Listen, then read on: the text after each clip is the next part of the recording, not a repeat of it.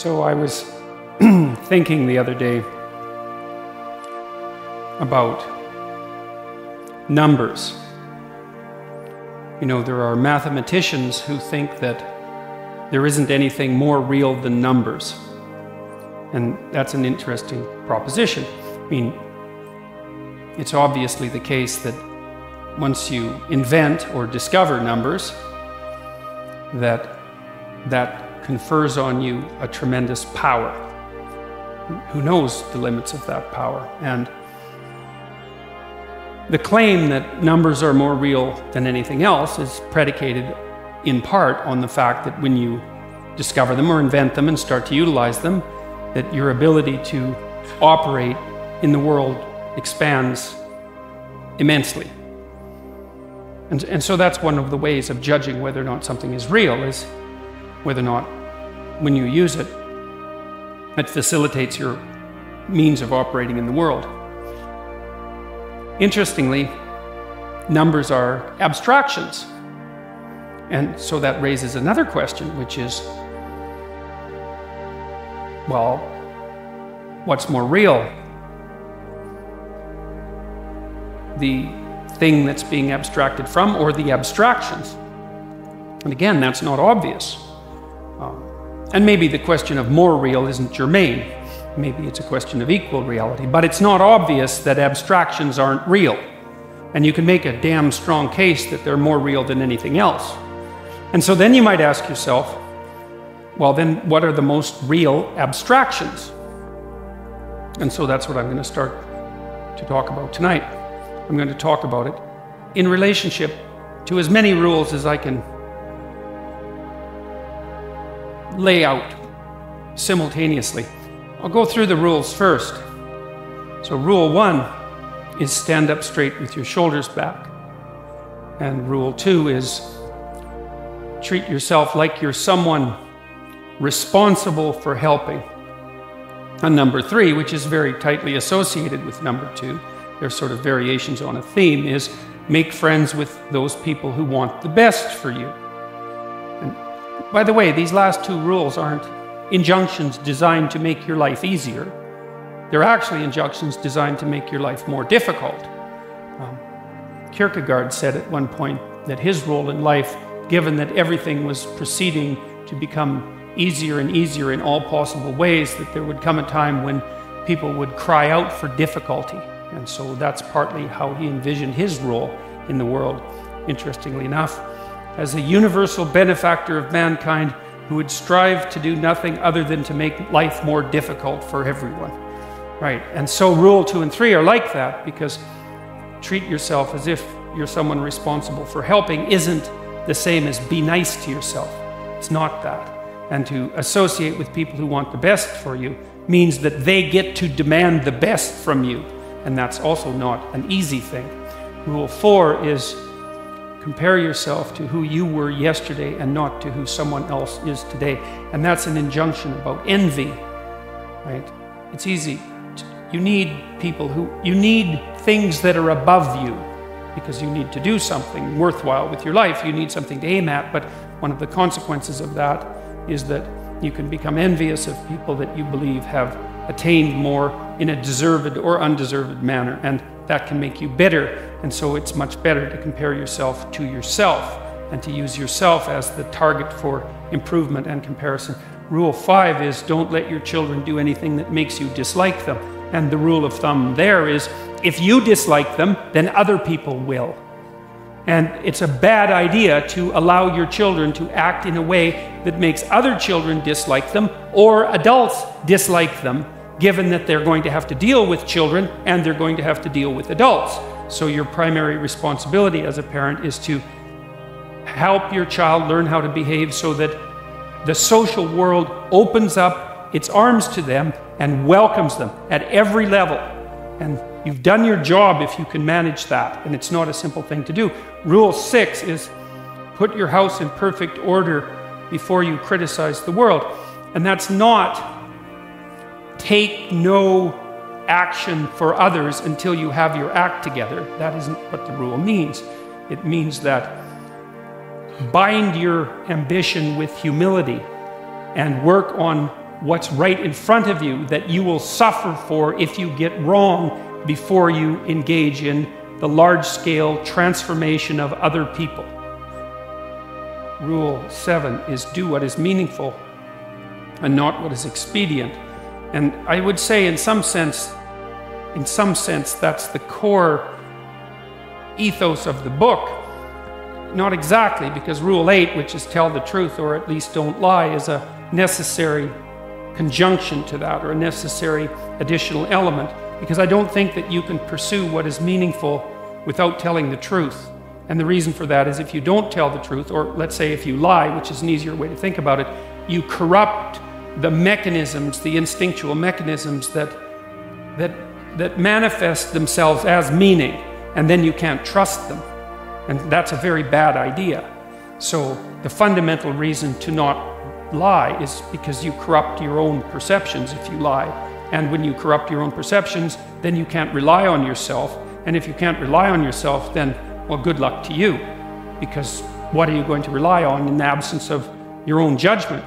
You You've got nothing if you, if you lose that. Rule, rule 8 uh, is, as I said, tell the truth or don't, or at least don't lie. Rule 9 assume that the person that you're listening to knows something you don't. And that's not so much a mark of respect for the person, although it is that. It's a mark of recognition of your own unbearable ignorance.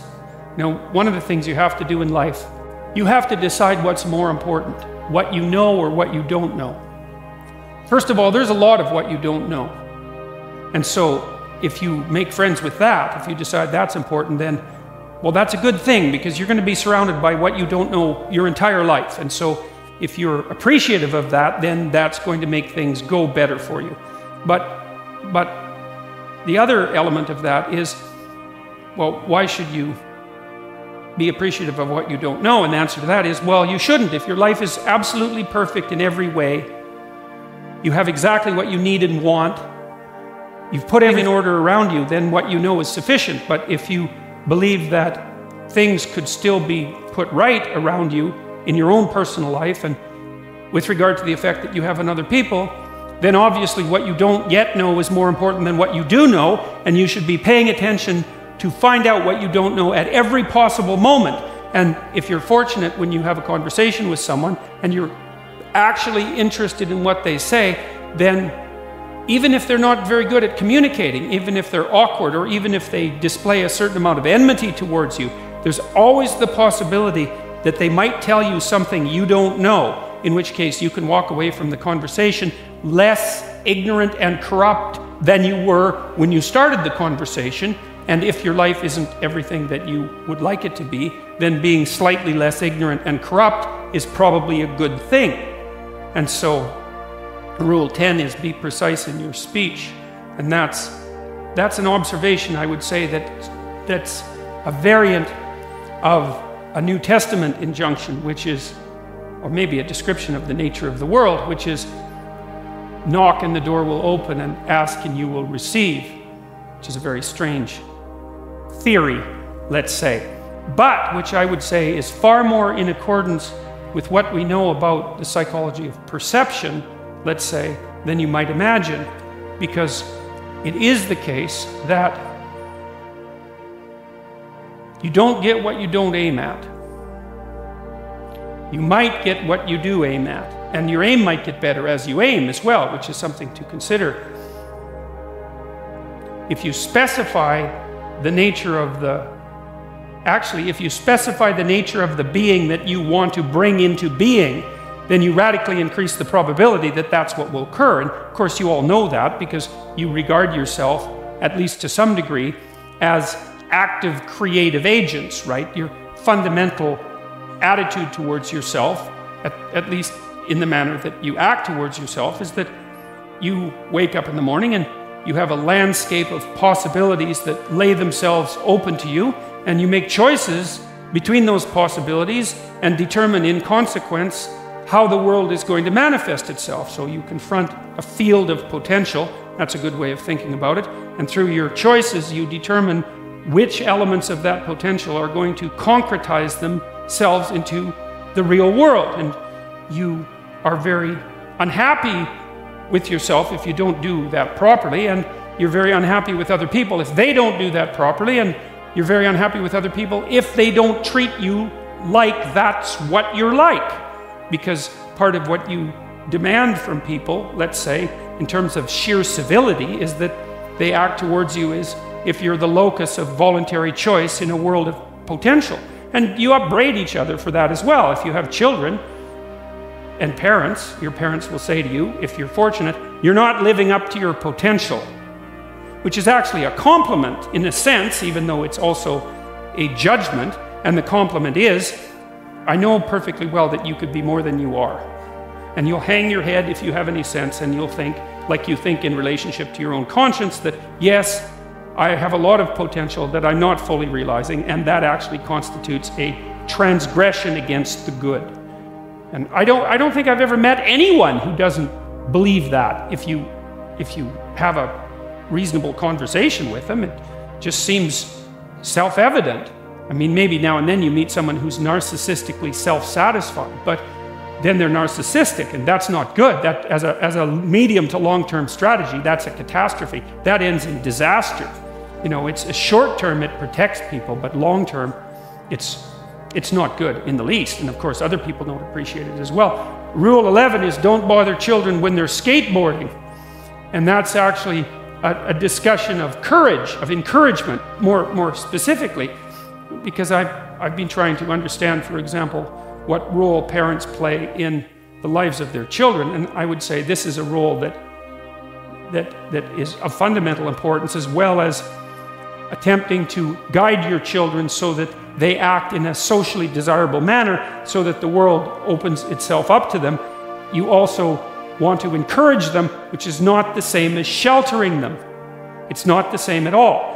And to encourage someone is to say something like, or to act out something like, Look, kid, as you, the world's already difficult because the world isn't easy for children any more than it's easy for adults. The, the difficulties are, they're not the same. They're child sized difficulties, but they're still difficulties. The world is a very hard place, and it's a bitter place in many ways. And it's not only a hard and bitter place, it's also touched with betrayal and malevolence. And that's the fundamental bottom line. But there's something in you that is capable of taking that full on and transcending it. And that's encouragement. You say, well, as difficult as things are, you're up to the challenge.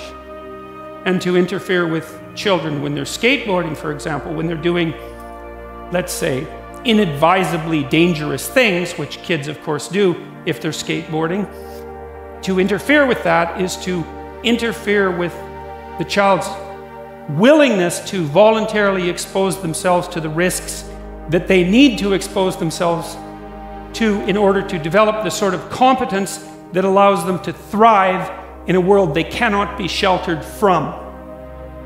And so to interfere with children when they're taking necessary risks is not love or empathy, but cowardice on the part of parents. And it's deeply damaging to children. And I can tell you, as a clinical psychologist, I've never had a client come to my office in all the hundreds, in, in, in all the hundreds of encounters I've had with people in my office. I've never had a client say, My parents made me too independent. Right, that hasn't happened once.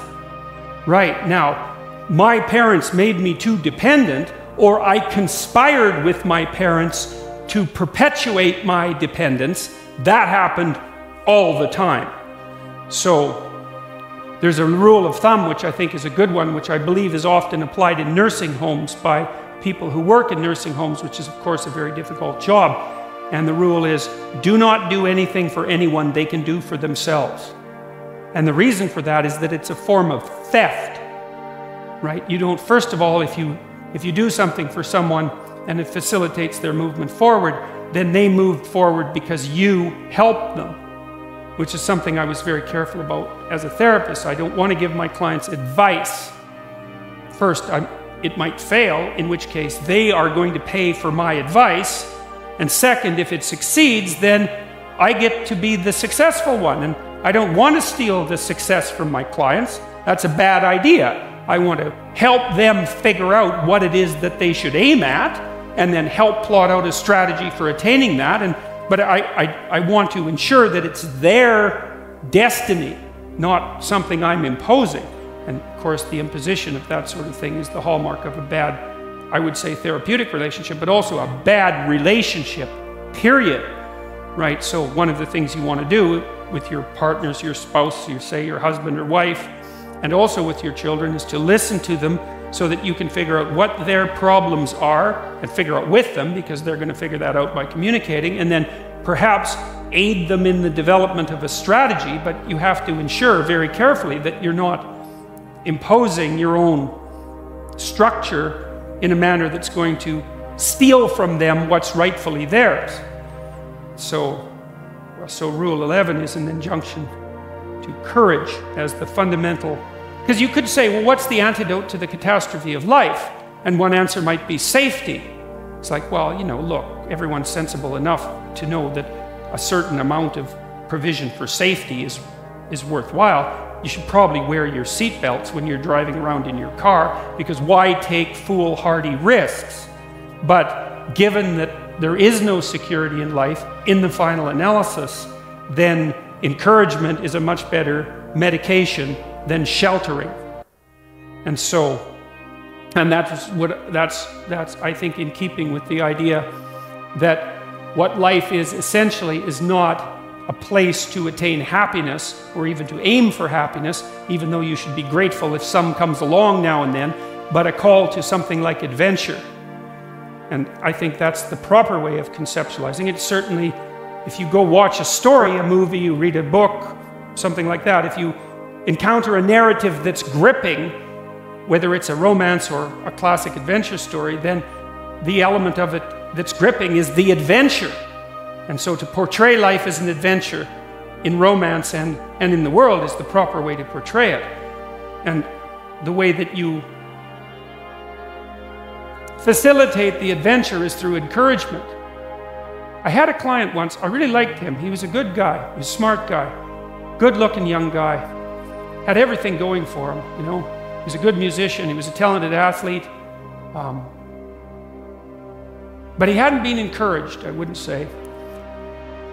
He told me about his relationship with his girlfriend. He said uh, his girlfriend wanted to go biking around southern Ontario. She was about 19 or 20.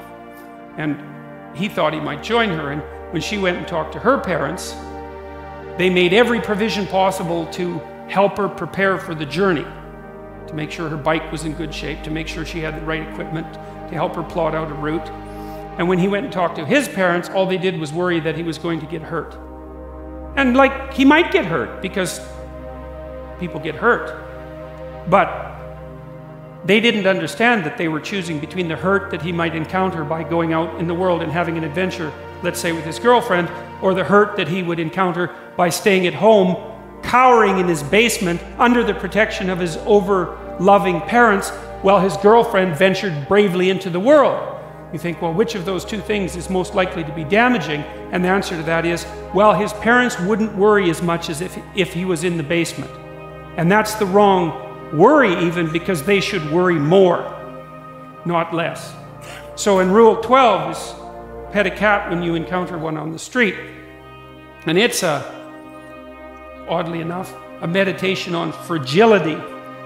Um, it's a discussion of what you do when you don't know what to do. And that's really when things have gone badly for you, when you face a terrible tragedy in your own personal life or in your familial life, or perhaps even in the life of your community when things come crowding in at you too quickly.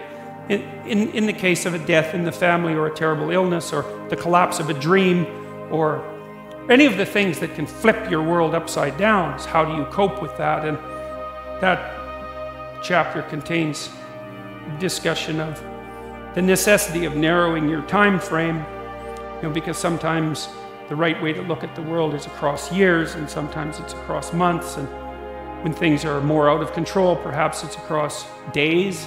And when things are really, when you're really up against the wall, it's across hours or even minutes. And during those minutes, then you concentrate on doing as well as you can with what's right in front of you for the longest unit of time that you can tolerate, conceptualize it. Maybe that's what you do at someone's deathbed. And while you're doing that and suffering away madly, then you also take the time to appreciate everything you can that manifests itself, that allows itself to be appreciated. And so that's the metaphor of the cat, I suppose. And so that's the 12 rules. And I'll return to rule one, which is stand up straight with your shoulders back. And I'm going to use it as a platform for laying out the abstractions that I talked to at the beginning of the lecture.